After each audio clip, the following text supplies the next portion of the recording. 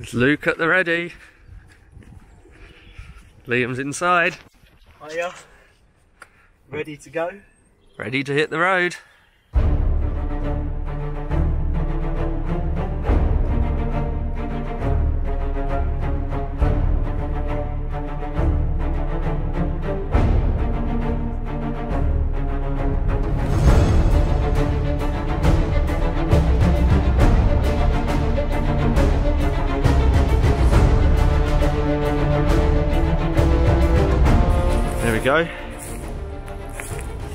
North Weald Redoubt.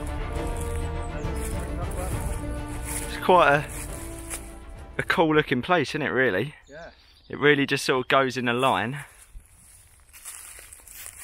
like that and it's got um, a moat and a ditch either side all the way around. So somehow need to get in there.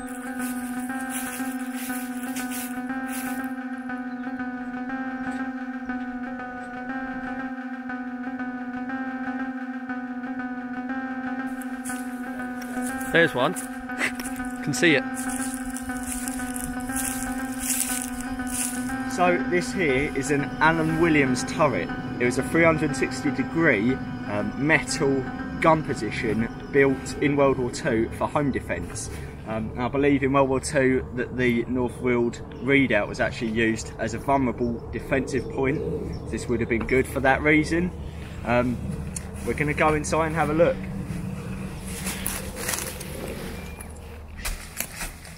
Not very easy to get in. Um, there's a lot of the original fittings still here. Um, here we've got the actual gun mount, which I think would be for Bren machine gun. Um, and look at that, it's still there. So you would have stood in here with the gun. Don't get a very good view. Not very good view at all. Somehow you would have fired out of there. Um, behind there's all these little holes in the sides. I think these would just be for 360 degree observation. Um, you've got a little seat on the side here. Maybe the gunner might have sat in there and fired out that way. Something like that, possible. Um, and we've still got bits like the original wheels all around the outside um, to rotate the whole thing. I think it would have gone, gone down a little bit deeper. Um, but yeah, I mean, I'm not sure it would have been very bulletproof. Not that thick, but I think it probably would have stopped quite a lot of bullets. Um, but maybe no explosions.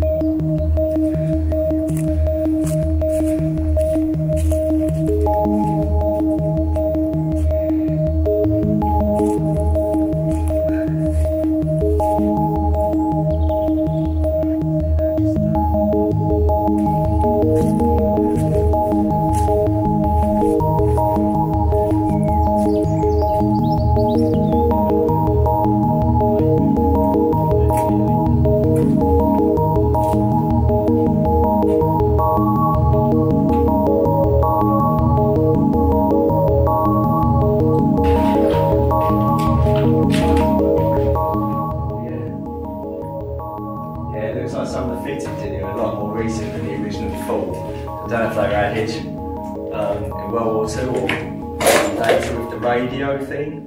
Don't know if that was older, but there's definitely a few new bits and bobs around here.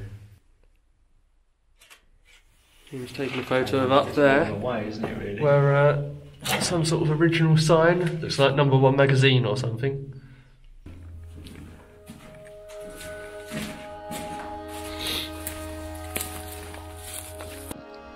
So here is one of the radar masts from um, the radio company that operated on the site.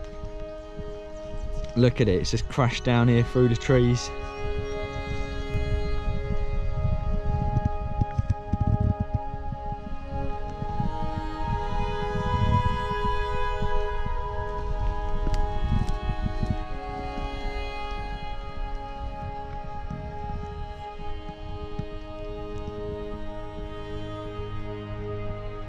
So Joe's trying out the new portable camera, the Osmo Mini, that we hopefully was going to start using it for our vlogs.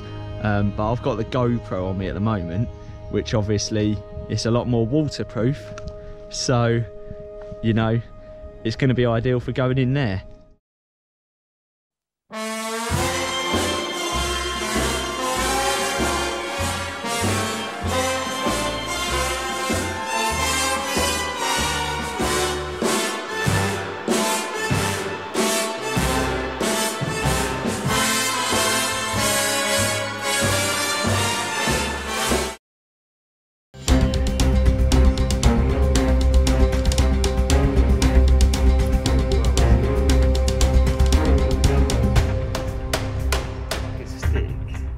Plenty around you. Yeah.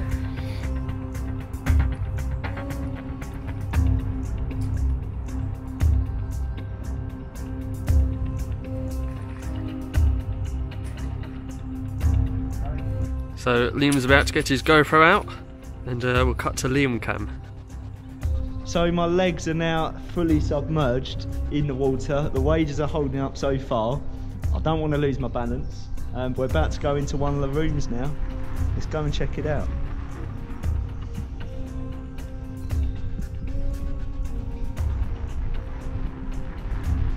Wow, that is amazing. Look at that. Beautiful view that. That's worth it. That is worth it. Wicked.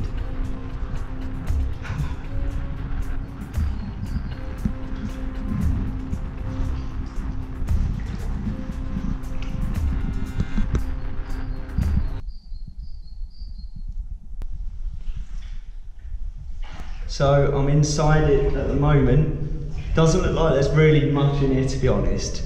Um, it is really cool because it's got a great view down to either end.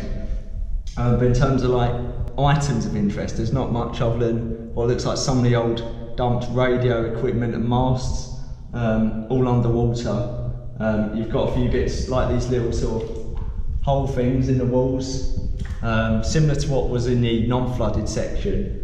Um, but there's not too much. I think we're going to head back out now. But it's still worth doing. Took the whole leg. Created a bit of a smell though.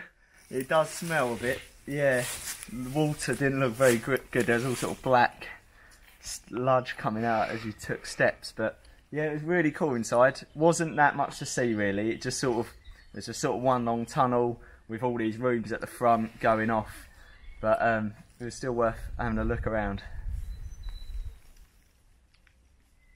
Just looking round here at the back entrance to the flooded area, we've got this room. Over in the corner there, you can see there's an old bench, and that looks like it's made out of old sleepers.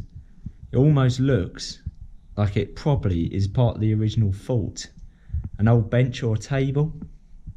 Look at that, you can see how the water level has marked the walls.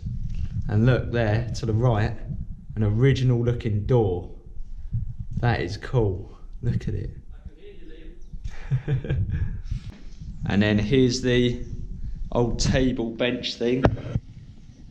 Look at that. I mean, that is ancient. It's like sleepers or something on there. They're thick pieces of wood. There wasn't much of interest in this room.